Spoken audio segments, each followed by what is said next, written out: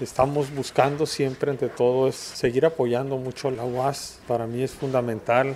Le tengo un gran aprecio y reconocimiento a mi amigo Jesús Madueña. Es un gran rector, va a ser un extraordinario trabajo al frente de la universidad y el trabajo en equipo. Aquí lo que hay que ver es por Sinaloa, que Sinaloa le siga yendo bien y la universidad es parte esencial de esa estabilidad en el Estado, de esa gobernabilidad.